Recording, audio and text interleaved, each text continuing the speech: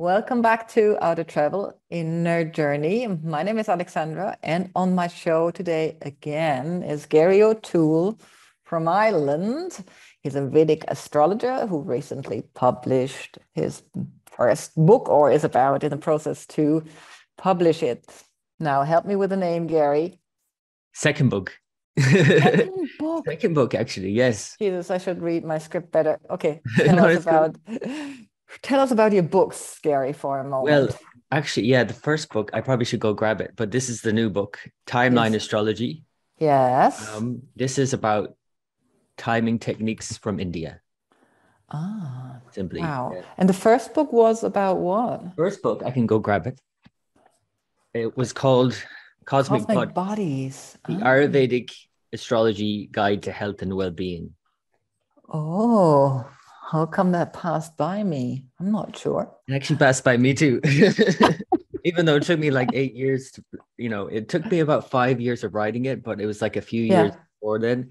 It took me so long. And I felt like, you know, when you're making bread and it's like you you make bread and, and then that's fine but then you leave it and leave it and redo it and redo it and it it just feels a bit stale for me now yeah so old yeah. i've processed it so much yes. Whereas this one i wanted to get out as quickly as possible and i wrote it in a year. Wow. And and so what was so precious about this book and what came through you to came into this world? Well this is literally 20 years of astrology study in one place for me. Uh, oh. most most of my astrology study in in terms of understanding the timelines the i call them timelines mm-hmm. the cycles that we all experience in life. So it's basically a book about how we all go through these cycles yeah. Phases. Yeah. yes. basically. Yes. Yeah. yeah. It's a it's a tantric con- concept isn't it as well as much as a i mean tantra comes is also part of the vedas i think but it's it's that idea that things are getting born and die all the time. So this is not new. So what is the new angle for you? I mean and maybe some people don't know this kind of life life cycle spans but for somebody who's deeper into the matter it feels like okay yeah but that's that's something very obvious isn't it? It's like winter summer you know all these kind of season stuff. What is it that you want to highlight in that book or highlighting in this book? That's a really exactly. good question. Yeah, because it's like yeah most people understand that everyone has seasons in their life and you know that there's an astrology um, system for looking at that. Like the first year of life is always the moon mm-hmm. everybody. So we have the kind of the same life stages throughout yeah. life. And so the moon, the first year is all about our attachments to our caregiver, like the mother usually. And depending on the moon's position in our horoscope, in our blueprint, how that goes has a big impact on our whole life. Mm. Right. Yes. Yeah. But then the next stage is from the age of one to three, and that's the Mars years. So mm. that's when we start um, looking for our independence from our mother and caregiver mm. and it's mm. like we want to enforce our self yeah. Start stomping our feet maybe and that's the terrible twos. Yeah. so that's that yeah. mars that mars in the chart will show how we go about getting anything we want later in life. Yeah. Yeah. Oh wow. So there's natural cycles but then there are also other there's many many cycles. Yes. A lot of cycles. Is is there like like the astrology signs the zodiac signs is it like the amount of cycles you have or yeah that's also a cycle literally like you were born maybe with a sign rising but that progresses mm-hmm.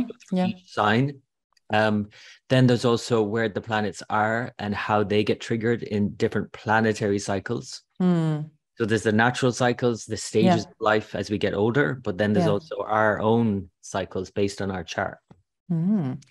so and so I do have, you know, like I'm very fond of what you write, and I have no clue about astrology. And still, sometimes I have to blow over the whole kind of planet is now, you know, copulating Venus with, you know, that, that sense yeah. that sounds so garbled to many of us. And I heard that as a reflection to our last podcast that there is, you know, like there is the parts where some of us feel like we can't follow and in regards to this book where would you place it in the you know like um, terms of laymen and beginners and advanced people so i was very ambitious with this one i wanted to write one that anybody could pick up because of that reason mm-hmm. i hate what you just said mm-hmm. i mean mm-hmm. i hate the, the part of what you just said that where when i say something and someone can't follow it I always mm. hate that in every instance anyway. When someone's explaining something to me and it just doesn't make sense, they're using a yeah. lot of terms yeah. yes. I don't understand.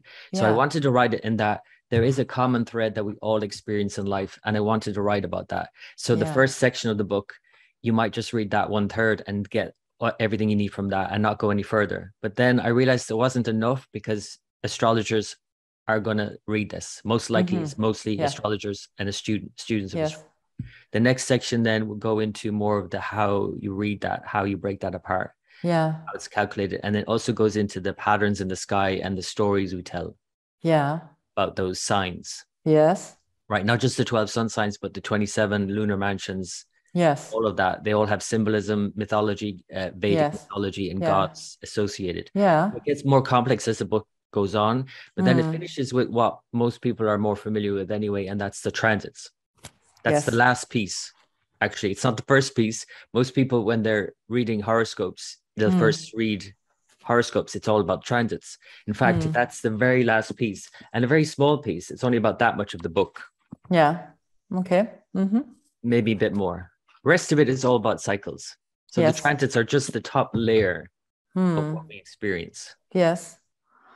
Wow. So the first thing that I need to ask you then is um, where is the sense? I mean, I come back to that question with you again and again, uh, and I think it's still valid. You know, where do you see the sense in knowing what you're going through? You know, with the astrology, while it's like almost to me we don't have free will you know we don't have free will and we are kind of guided by the by the planets and we are guided by our beliefs and how we kind of perceive or kind of in, in they inform us how to move on or values mm-hmm. and mm.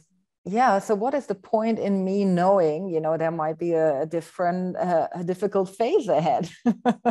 i love this question yeah it's a really good question and it's usually the question that comes up when uh, when you get this sense of that your life is mapped out in some way Yes. That's obviously mm-hmm. the first question is going to start yeah. thinking about is like, well, why do I want to know? Mm. It's a double edged sword. Yes. In a way. Mm-hmm. I'm, uh, so I'm going to say that first of all.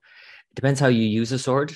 yeah. it could be really yes. dangerous or yeah. it could be like, you know, be really good. Yeah. But one of the things I would say about it is to know it's like, let's go back. I know it's just a very cliche thing now, but to go back to the seasons. Yes. It's kind of like if you didn't have your astrology, Mm. It's kind of like you're going through life not knowing what season follows what. Yeah. Okay. It's a bit like that. It's a bit like you don't know that summer follows spring and you haven't planned for it at all, or that mm-hmm. winter follows autumn. Okay. You have no clue that that's happening at all, yeah. ever. And you go year on year and you still don't know yeah. that's happening yeah. and you're oblivious to it. And that's kind of what it's like. Yeah. So actually, I look at it differently. I look at it as when you're given your map, first of all, it's just a map. Hmm. It's not the terrain. It's not yes. what's happening. It's just the map. Hmm. Second of all, it doesn't restrict me in any way. And it's the paradox of disciplines, right? Where you have a hmm. discipline that free, frees you actually. Hmm. And you have a discipline that frees you up to be yourself. Yeah. Actually, what has given me more than hmm. freedom to be myself yeah. more. As I go through these cycles, I don't struggle against what is happening. I can actually be myself more in that. Oh, I love it. I love that.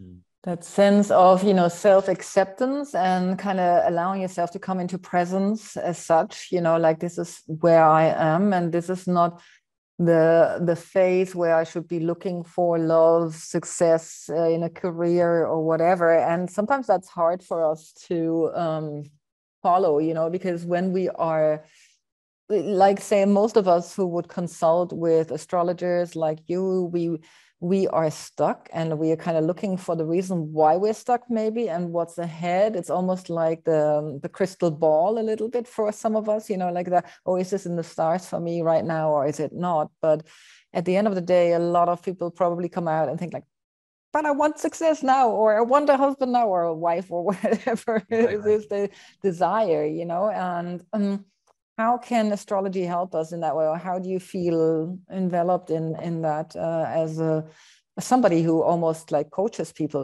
probably in the same way hmm.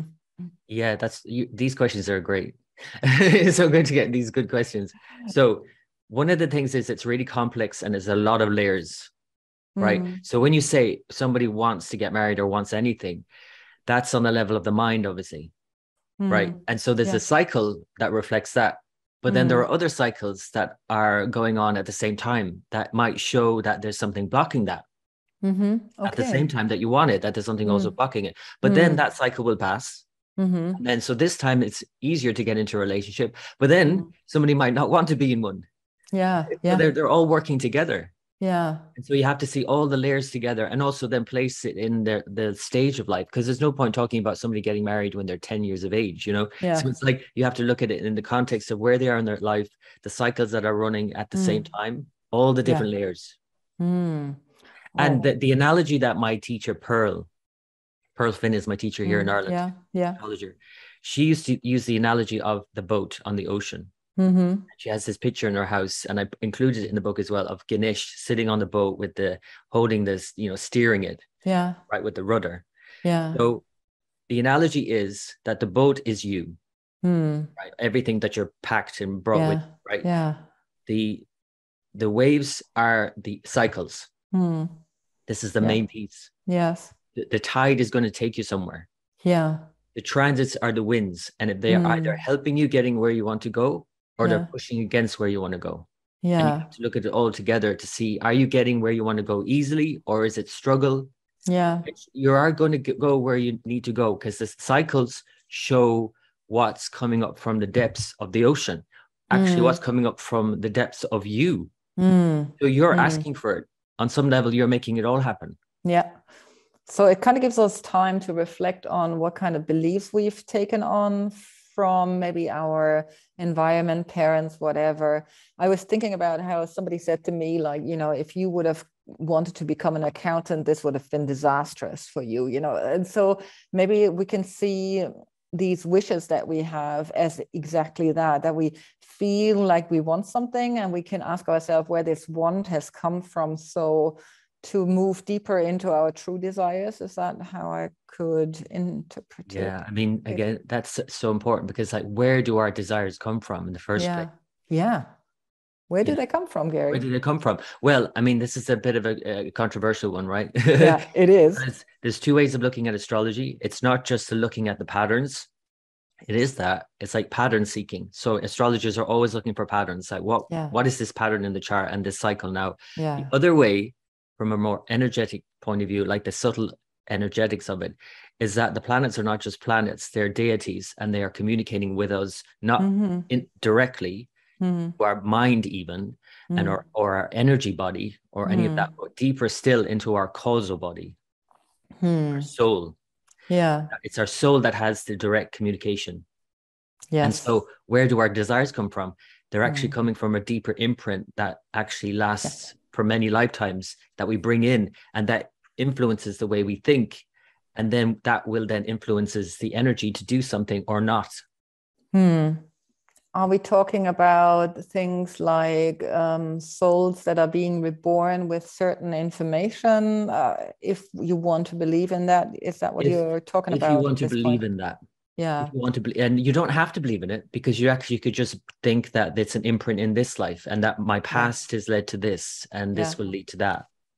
and I came across a very good explanation of, you know, at least believing in the imprints. Not ma- if if we don't want to think about our soul doing this travel, then we could just go the ancestral route, for example. If we think of who we come from and how many bodies were involved and how many beliefs were involved, and at least if if if you don't, you know, as a listener, don't believe into the rebirth concept um, think a little bit about like how much we do inherit in as in belief systems as in caution as in how we have to move through society in a certain terrain yeah so Mhm.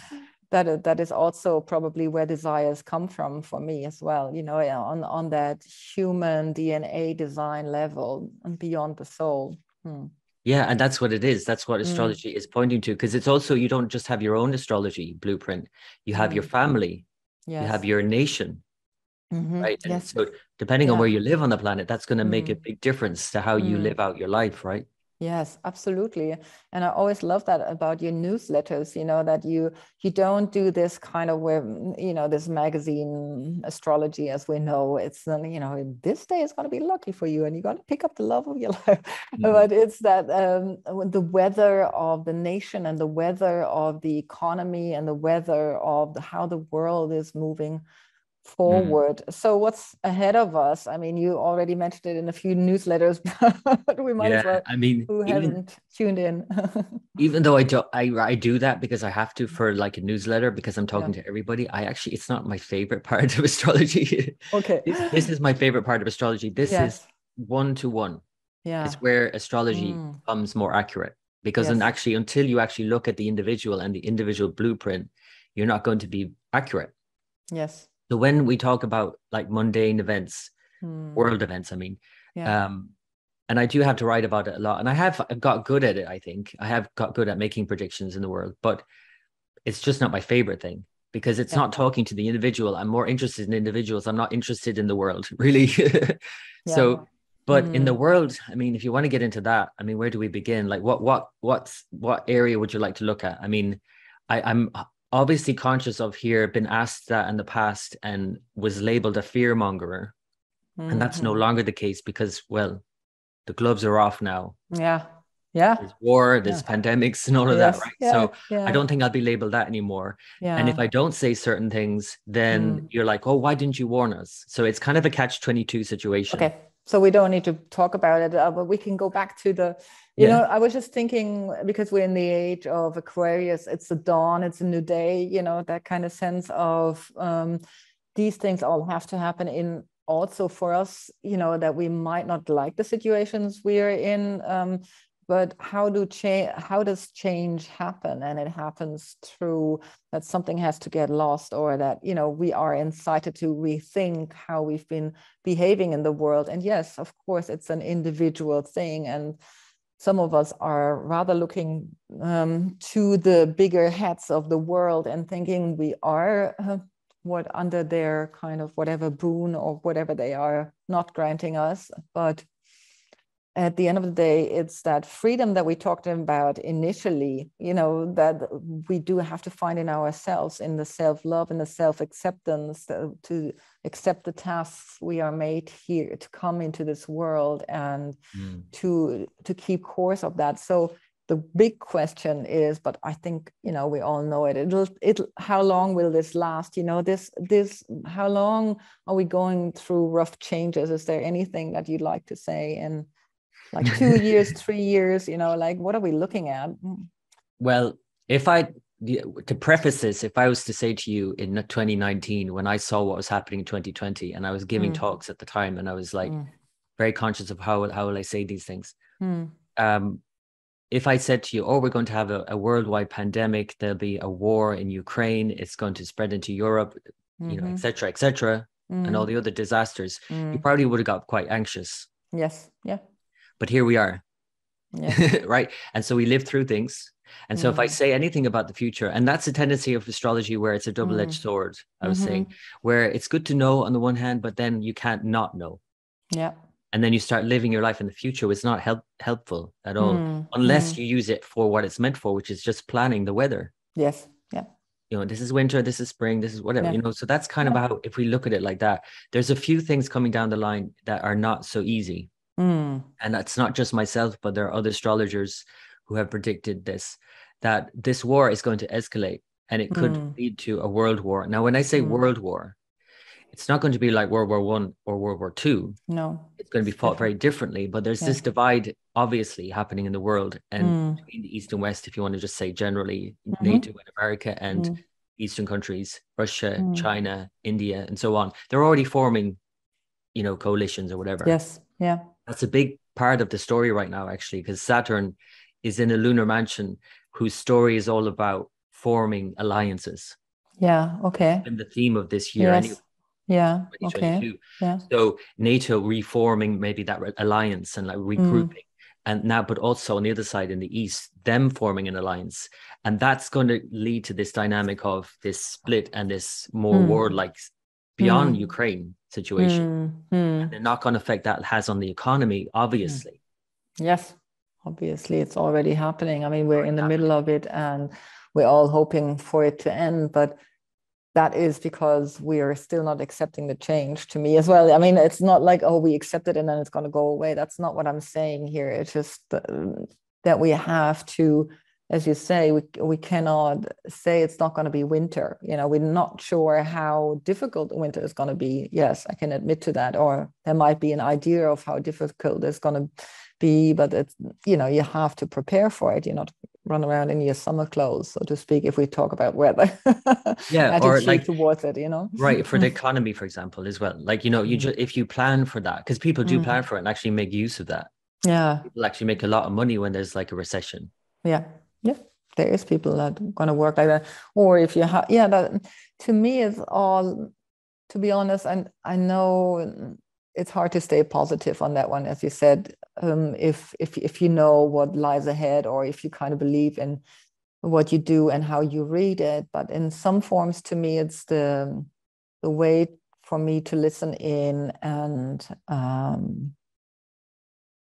make sure that i'm not stuck on all concepts of how i need to live my life listen yeah mm-hmm. yeah so. and i'm yeah, that's it's, that's really important because it's all it's never the same. I think it was Mark Twain that said history doesn't repeat, but it often rhymes.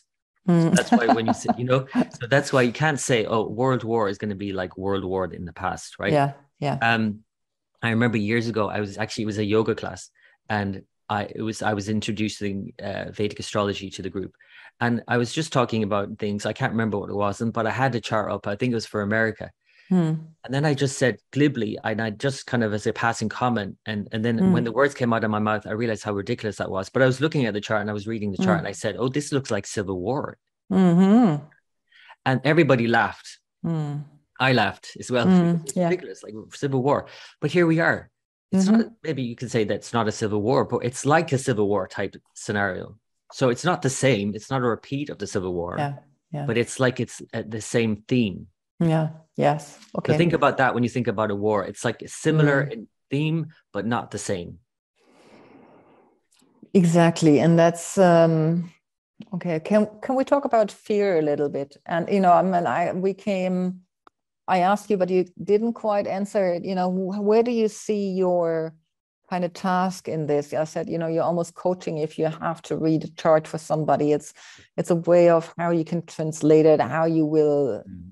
presented and what is where is the aspect of fear? You know what can you leave behind the fear so to speak or how can you get past the fear with people listening to how their life is unfolding not even how the current situation is unfolding in the world yeah well I, i'm going to answer that by actually going back to another question that i didn't answer either and that mm-hmm. is, or the, not that i didn't answer but the topic you brought up about the age of aquarius yeah we can yeah. mix it in with that because yes. what is Aquarius is actually it's not the kind of you know all roses and shiny and everything is wonderful like hippy dippy sort of mm-hmm. it's not at all that it's a very dark sign mm, right so that brings up a lot of fear mm. um, and it's dark because it's ruled by saturn which yes. literally represents fear in ayurveda it would be vata mm-hmm and it rules also it is also ruled by the north node of the moon which is an eclipse which is called rahu in india and it's ah. also vata but it, like a deranged yeah. vata yeah. like an unreal uh, world so what we're heading into is an age of unreality in a way or mm-hmm. hyper reality mm-hmm. where it's all all online where it's all this kind of what some people might say is a dystopian future but and obviously that can bring up a lot of fear mm the antidote to that, and especially Rahu, which creates these kinds of imaginations and like future projections, even yes. if they're positive, it can create mm. fear. Mm. Right. But then you might say, well, one person's fear is another person's excitement. You know, it's how we label it, right? but the thing is, the antidote to that is to be in the present moment always. Yeah. Yeah. Always to come back to the present moment because it's mm. actually not real. Yes. Future isn't real. Yes. yeah. Even if you predict it even if you predict it, it's not real. It's actually it doesn't exist. Hmm. All of these imaginations, all of these projections into the future, is not real, and yet that's what Rahu does for us, mm. yeah, collectively and individually. Mm. It kind of gets our mind spinning on what could play out and us overlooking what is really in front of us is that how we can make it a little bit Exactly. And that's the yeah. age of Aquarius. And mm. what it is great for is innovation and future orientated mm. kind of yes. projections into, yeah. oh, we can do it this way and let's plan this and let's do it, shake it up. Mm. Mm-hmm. But what it's not good for is just being present. And that's why it's really necessary for us all as we enter this age. Mm. And we're taken out of our bodies in a way into like mm. devices that we're going to probably be wearing more and more. Yeah. Come into our body, into the moment, into what's real what's really real, yeah. not the hyper reality of this. Yes. Kind of yeah. Right? Yeah. Um, but you said not presence. And I thought, like, yeah, but we need to learn presence. This is what I'm actually teaching right now. You know, like after I've done all the yoga and Ayurveda, this is coming through funny enough right now you know that the art of loving presence as i kind of swapped my name into and um, now that you're saying that, it makes sense to me. Sorry, dear listener, maybe me, but um, and it's so difficult. You know, I'm just saying this because I also want to acknowledge at the same time while sitting here with Gary, who says all these things, we both also know, even we know, you know, and we give these kind of wisdoms into the world. We know it's a practice, and a practice is never perfect. You cannot just step into that and then that's good you know like you, you wait for the 10 years until you can marry somebody or until you get success it's it's not about that waiting state it kind of brings you deeper into the mind aspects of the future as you're told but to to come back to to the present moment um, is a practice that always needs to be practiced even for those who are you know far ahead on the path maybe what we mm. call enlightened or awakened or whatsoever. It, it just and you have to have your nodes, you know, like your, your where you want to refer to, and astrology is your piece of re-referring. I think. So, what do you use? yourself then gary when you know as an astrologer of bringing you into presence what's part of that for you a practice as a um, practice um, it's it's the thing is if i call it a practice Mm. I've learned over the years that if I call it a practice and it's something I do, mm-hmm. then I don't do it enough. Yeah. Okay. you know what I'm saying? Yeah. Catch 22. Ca- again, I have, another catch I have that too. Yes. yeah. It's like, oh, if I'm only meditating when I'm on the stool, yeah. or if I'm only doing yoga when I'm on a yoga mat, yeah. And i'm not doing it. Not, yeah exactly. Yeah, yeah. but we got to start somewhere. We got to do the got to start somewhere but because i started there and i realized that i was also because that's again the catch 22 i was re- doing that and then when i wasn't doing that i wasn't there.